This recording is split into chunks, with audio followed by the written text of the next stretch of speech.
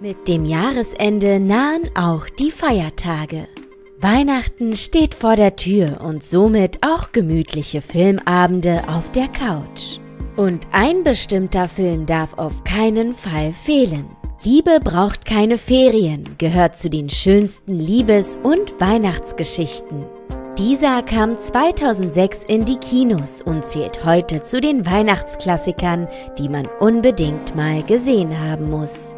In der romantischen Komödie geht es um zwei Frauen, die mit ihrem Leben unzufrieden sind und für die Weihnachtszeit das Haus mit der anderen tauschen.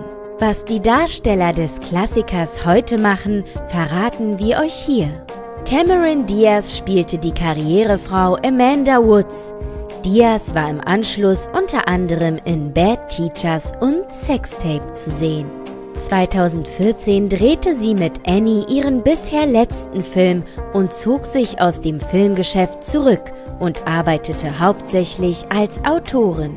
2022 kündigte Cameron Diaz aber an, dass sie wieder einen Film drehen wird. Aktuell steht sie für Back in Action vor der Kamera. Kate Winslet übernahm die Rolle der naiven Iris Simpkins. Die Schauspielerin gehört nach wie vor zu den erfolgreichsten Hollywood-Stars. 2021 war die Engländerin in der Miniserie Mar of Easttown und 2022 in der Serie Ruth zu sehen. Ihren Bruder Graham spielte Jude Law. Der Brite war seit 2006 in Filmen wie Sherlock Holmes oder Fantastische Tierwesen zu sehen.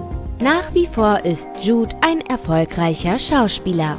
Den sympathischen Miles spielte Jack Black. Jack Black wirkte in unzähligen Filmen mit. Zuletzt war er 2022 in dem Film Weird, der Al Yankovic Story zu sehen.